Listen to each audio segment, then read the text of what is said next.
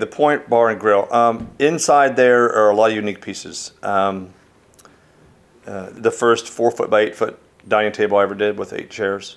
Uh, it's natural edge. It's three inches thick. Uh, it's incredibly heavy.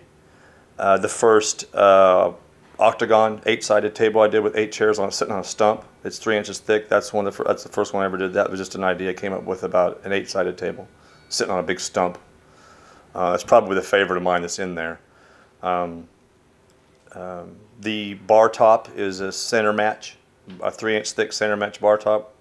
Center match meaning that you take two slices off a log and then you put them back together so each side is a mirror image of the other side. So they, eh, with a seam down the center. So it's just two pieces, and that's uh, that was a one 20 foot log that we got two slices out of it, and then I laminated, did this did the center match, put the two pieces back together, and then mitered it so it goes around a corner. So it's, it's it came from one tree.